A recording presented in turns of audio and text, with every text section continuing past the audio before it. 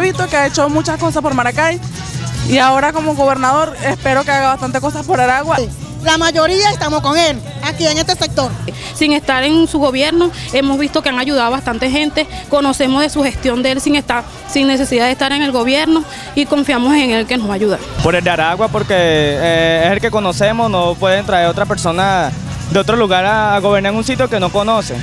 No, yo digo que mi voto va para él, es 100% acá y listo. Mi voto para más nadie.